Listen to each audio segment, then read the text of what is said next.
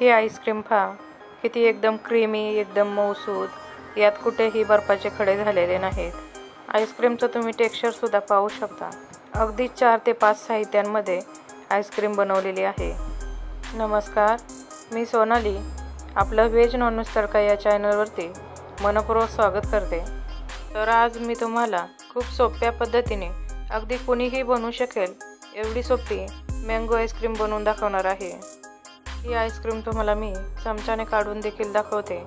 आहे ना बाजारातल्या विकतच्या आईस्क्रीमसारखे चला तर मग लगेचच बनवायला सुरुवात करूयात. मँगो आईस्क्रीम बनवण्याकरता अर्धा लिटर दूध घेतलं आहे तर दूध कुठलंही वापरू शकता. एक छोटा कप साखर घेतली. साधारण चार चमचे ही साखर आहे. सोबतच एक चमचा कॉर्नफ्लॉवर लागणार आहे. या व्यतिरिक्त मँगोचा पल्प आणि थोडीशी क्रीम देखील लागणार आहे. त्याचं प्रमाण मी पुढे तुम्हाला सांगणार आहे. तर आता गॅस चालू केला आहे दुधाचं पॅन या गॅसवरती ठेवून घेतलं आहे दूध आता आपल्याला हे छान असं गरम करून घ्यायचं आहे तर दूध आता थोडंसं गरम झालं आहे आता यामधील दोन पळी दूध आपल्याला या कॉर्नफ्लोअरवरती घालून घ्यायचं आहे कॉर्नफ्लोअरची आपल्याला छान अशी पेस्ट बनवून घ्यायची. तर ही पेस्ट बनवताना यामध्ये अजिबात गुठळ्या होऊन द्यायच्या नाहीत. कॉर्नफ्लॉवरमुळे आपलं दूध हे अगदी लवकर दाटसर होतं. कॉर्नफ्लॉवरची पेस्ट तयार झाली तर इकडे या दुधामध्ये साखर घालून घेऊयात. आता ही जी साखर घातली आहे ती आपल्याला छान अशी दुधामध्ये विरघळून घ्यायची. दूध अजिबातच आपल्याला आटवायचं नाही फक्त साखर विरघळून घ्यायची. यानंतर यामध्ये बनवलेली कॉर्नफ्लॉवरची पेस्ट घालायची. कॉर्नफ्लॉवरची पेस्ट घातल्यावर एकसारखं पळीने दूध हलवत राहायचं. कारण हे दूध लगेच घट्ट होतं. दूध एकसारखं नाही हलवलं तर याच्यात गाठीसुद्धा होऊ शकतात. म्हणून हे पळीच्या मदतीने एकसारखं हलवत राहायचं. साधारण तीन ते चार मिनिट झालेले आहेत. तुम्ही पाहू शकता अशा पद्धतीने हे दूध एवढं घट्ट झालं आहे दूध थंड झाल्यावर अजून घट्ट होतं त्यामुळे लगेच गॅसची फ्लेम बंद करायची. हे दूध आता थंड करायला ठेवूया तोपर्यंत बाकीची तयारी करून घेऊयात. अर्ध्या लिटर दूधसाठी साधारण एक मोठी वाटी आंब्याचा गर घेतला आहे दोन आंब्यांचा गर मी काढून घेतला आहे तर हा गर आता मिक्सरच्या भांड्यात घालून छान असा वाटून घ्यायचा. यामध्येच आपल्याला दूध आपण थंड करायला ठेवलं होतं ते घालून घ्यायचं. इथे एक गोष्ट लक्षात ठेवायची हे दूध पूर्णतः थंड झाल्याशिवाय मिक्सरच्या भांड्यात घालायचं नाही.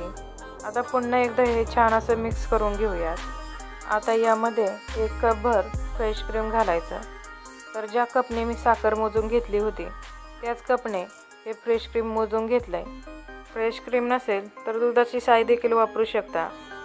तर आता मिक्सरवरती छान असं एक जीव करून घेतलं आहे तर आता आपल्याला आईस्क्रीम सेट करायला ठेवायची. त्याकरता हा माझ्याकडे आईस्क्रीमचाच डबा आहे. त्यामध्येच मी हे आईस्क्रीम सेट करायला ठेवणार आहे. तुम्ही कुठल्याही स्टीलच्या काचेच्या किंवा प्लास्टिकच्या डब्यात हे आईस्क्रीम सेट करायला ठेवू शकता. याच्यातलं तुमच्याकडं काहीच नसेल तर तुम्ही ग्लासामध्ये सुद्धा आईस्क्रीम सेट करून घेऊ शकता. ग्लासामध्ये सुद्धा मस्त आईस्क्रीम होतं. चमच्याच्या मदतीने हे आईस्क्रीमचं मिश्रण एकसारखं असं पसरवून घ्यायचं. तुमच्याकडं जर बटर पेपर किंवा फॉईल असेल तर ती यावरती लावून घ्यायची. माझ्याकडं नसल्यामुळे मी लावलेली नाही. आता हा डब्याचं झाकण एकदम घट्ट बसवायचं. आईस्क्रीम सेट होण्याकरता डीप फ्रीजरमध्ये आठ ते नऊ तासासाठी हा डबा ठेवून देऊयात. तर एकूण नऊ तास झालेले आहेत. आता हा डबा आपण खोलून पाहूयात. तर तुम्ही इथे पाहू शकता मस्त अशी आपली आईस्क्रीम सेट झालेली आहे. यामध्ये कुठेही बर्फाचे खडे दिसत नाहीत.